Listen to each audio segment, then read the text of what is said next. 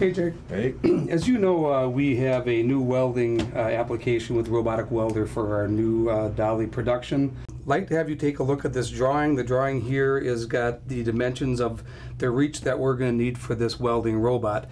Uh, if you can take a look at it and specify what size arm we're going to need to make sure our production can properly hit uh, all the points that we need. If you could take a look at this drawing and based on these dimensions, you know, if you can give us a recommendation for a robotic arm that we would use in this application.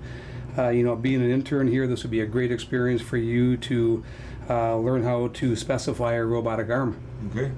Um, yeah, I'll do the best I can to give you a recommendation. I see we have the robot and four stations with the maximum reaches already drawn out, so I'll have to measure those and then use a scale to find the real world length. That'd be great. Awesome. Yep, let me know what you find out then. All right, we'll Thank do. you. Yep.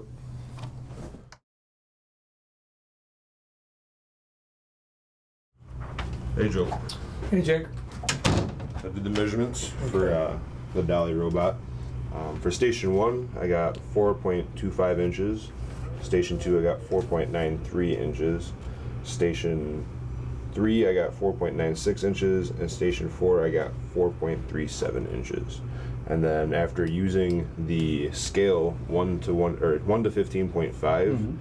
I got 65.8 inches for station one, 76.4 inches for station 2, 76.8 inches for station 3, and 67.7 inches for station 4. Interesting. Good work. Thanks.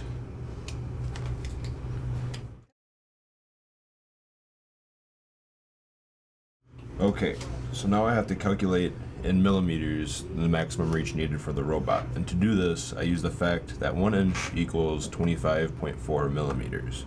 So therefore, station 1 has a reach of 1,680 millimeters. Station 2 has a reach of 1,950 millimeters. Station 3 has a reach of 1,960 millimeters. And Station 4 has a reach of 1,730 millimeters. And I know that the brand of robots that we use will either be getting an uh, model IRB 1400 or a model IRB 2400. Right. The model IRB 1400 has a reach of 1,440 millimeters, and the model IRB 2400 has a reach of 1,800 millimeters. But we have an extra 13 and a half inches or 343 millimeters due to the torch assembly that we add onto it. So the IRB 1400 really has a reach of 1,783, and the IRB 2400 has a reach of 2,143 millimeters. And with that, I'd have to recommend the IRB 2400 for our robot arm.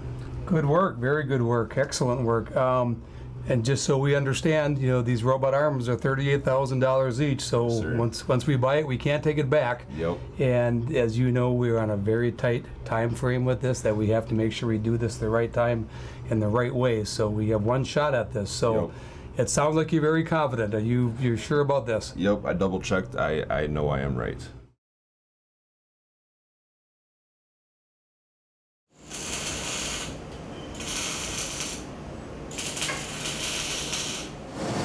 Jake, looks like you passed the test. The robot's installed. It came within budget, within time, and everybody's happy. Good job. Thank you.